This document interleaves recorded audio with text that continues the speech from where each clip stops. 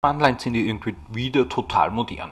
Ja, jetzt 20 Jahre oder 30 Jahre verdrängt worden von Oberflächen und jetzt kommen sie irgendwie immer, immer wieder.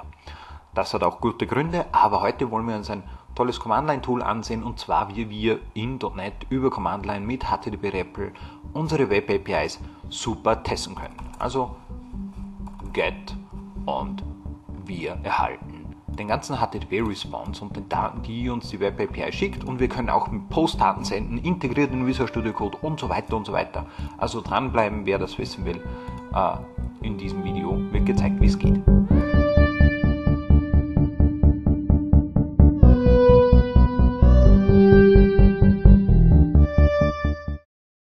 wir es an, wir machen eine neue ASP.NET Core Web API und sehen uns mal an, was denn hier los ist. Und zwar, was wir wollen, ist eine .NET 5. Hier können wir es auch auswählen entsprechend. Und Authentication machen wir keine, HTTPS kann er machen, alles okay. Ganz wichtig, was Neues, Enable Open API. Dadurch wird automatisch der Swagger Support hinzugefügt, den wir sonst immer manuell machen mussten. So, lassen wir ihn kurz das Projekt erstellen und sehen uns mal an, was wir hier alles so machen können. So, hier ist die neue Web API und wir haben unseren klassischen Weather Forecast Controller da. So, Weather Forecast Controller.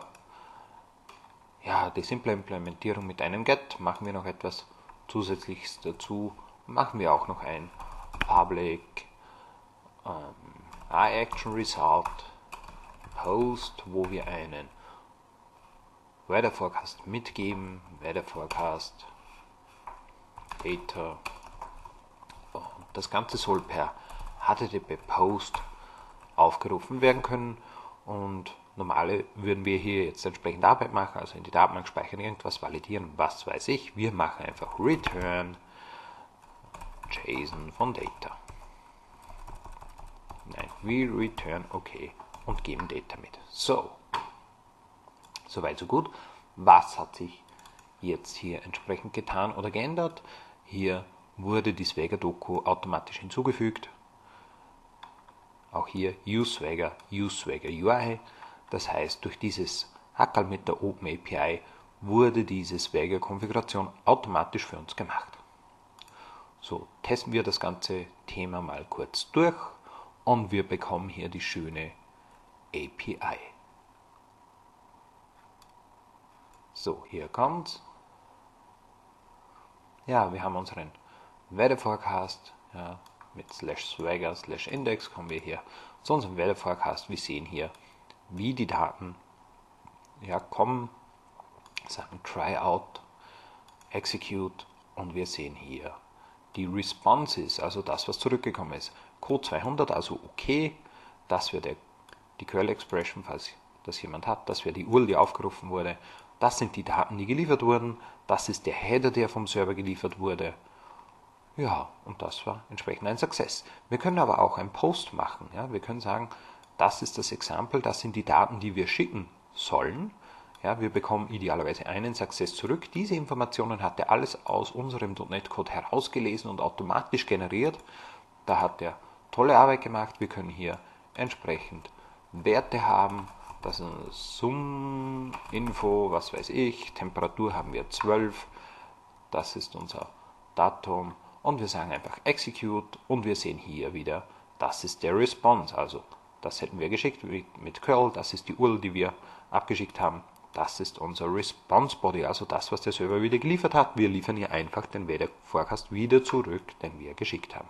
Soweit, so gut. Also, durch dieses Open API Support wird uns Swagger automatisch hinzugefügt. Das hatten wir vorher auch, hatten wir manuell gemacht oder hätten wir manuell gemacht über ein NuGet-Package und über die Doku die paar Zeilen einfach dazugefügt.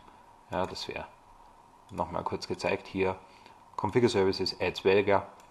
Hier kann man auch schon die Version angeben, äh, einen Titel angeben und dann Use Swagger bzw. Use Swagger UI. Was wir hier gesehen haben, war die Swagger UI. So, ansonsten ähm, erlaubt uns Swagger eben eine schöne automatische Dokumentation zu generieren, ohne dass wir es selbst machen müssen, indem er über diese Informationen über Reflection sozusagen drüber arbeitet und uns diese UI generiert. So, jetzt kommt ein neues Tool, jetzt kommt neu HTTP REPL. Was ist jetzt mit HTTP REPL? Ein neues Tool, das Open Source auf GitHub ist, äh, direkt von Microsoft entwickelt wurde und von Microsoft zur Verfügung gestellt wird. Es ist ein Tool auf Basis von .NET für .NET. Und zwar wird es wie folgt installiert. So, mal schauen, was ist auf diesem Rechner für .NET Tools in Global Scope, also .NET Tool List G für Global Scope. Sehen wir mal, was hier alles da ist. .NET Dev in der Version 3, ähm, die Tools Microsoft.NET HTTP REPL mit 5 und äh, hier noch ein Webtool. Also .NET Tool, da können wir auch updaten etc. Also .NET Tool Update und zwar hätten wir gerne abgedatet .NET EF im Global Scope. Mal schauen, was jetzt passiert, ob ich die Parameterreihenfolge richtig habe. So wurde aktualisiert auf .NET 5. Also hier kann man auch mit den .NET Tools entsprechend ähm, ja, arbeiten. Gut, also so würden wir es installieren über die Command Line. Einfach .NET Tool. Äh, ich habe schon installiert, also sonst einfach .NET Tool install-g Microsoft.NET HTTP REPL. So, wie arbeiten wir jetzt damit? Das ist natürlich noch spannender. Also, wenn wir HTTP REPL jetzt benutzen wollen, dann gehen wir als erstes zu unserer Webseite und kopieren uns die URL und zwar ohne dem slash swagger slash index, also die URL zur API. Und wenn wir die URL zur API haben, dann öffnen wir das Command Line oder äh, die Command Line und sagen eben HTTP REPL. Ja, wir haben den Befehl jetzt verfügbar, weil wir das, dieses Tool in Global Scope entsprechend ähm, installiert haben. Ansonsten .NET HTTP REPL würde auf jeden Fall funktionieren. So, HTTP REPL disconnected. Gut. Also Command geht mal und jetzt mache ich hier ein Copy and Paste dieser URL unserer API und sage Enter. So, und jetzt sehen wir hier, dass wir mit dieser URL verbunden sind. Wir sehen auch Using Open API Description, ja, von hier holt er sich mit Swagger, V1 etc. holt er sich die entsprechenden äh, Infos oder die API-Infos. Und jetzt können wir machen dir. Jetzt können wir sozusagen über die Command-Line auf diese Web API zugreifen und können hier Sachen machen. Wir können zum Beispiel machen, aha, dir, und wir sehen hier, hier gibt es einen Weather Forecast. CD Weather Forecast. Ja, und jetzt bin ich in dem Verzeichnis unter Anführungszeichen Weather Forecast drin und ich sehe, hier gibt es eine Get und eine Post Methode. Ich mache Get und was ich hier bekomme ist ähm, den HTTP-Header, also den Header und den, den Body. HTTP 1.1, okay, also hier die Header-Informationen und dann entsprechend der Inhalt, der ausgegeben wird oder der zurückgeliefert wird von dieser API.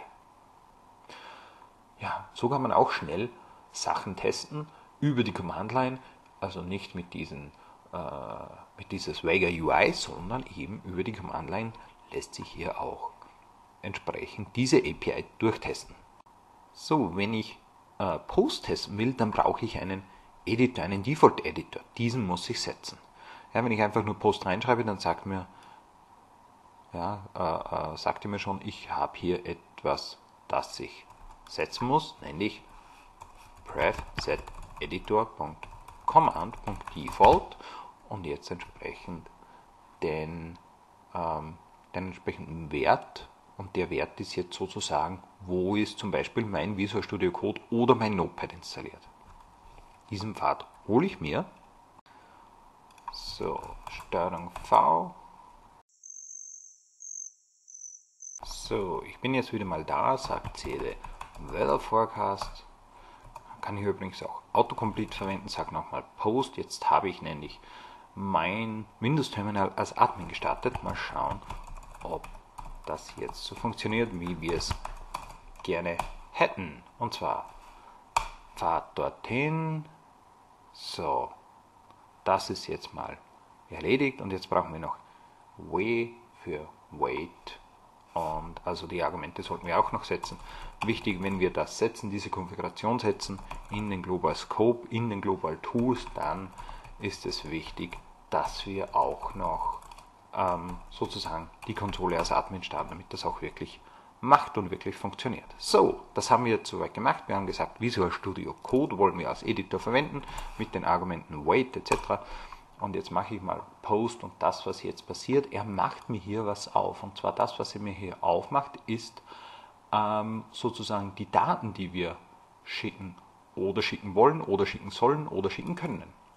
Das ist prima, die kann ich jetzt entsprechend verändern. 120 Grad meine Summary. So, abgespeichert, zugemacht. Und was jetzt passiert ist, dass er hier Werte geschickt hat. So, ich habe es jetzt nochmal probiert, denn hier herum hatten wir interessanterweise 0, obwohl ich hier 120 oder so reingeschrieben habe. So, ich sage nochmal Post, ich habe jetzt den Wert 20 reingeschrieben und es hat funktioniert. Komisch, ist aber so. So, probieren wir es nochmal. Post eröffnet uns Visual Studio Code. Hier ist die Objektstruktur, die wir eigentlich schicken im Weather Forecast. Und ich sage hier nochmal 10 und High, speichere es ab und schließe das Fenster. Jetzt steht auch da 10 und High und wir, kommen, wir bekommen hier sozusagen ähm, das Ergebnis zurück.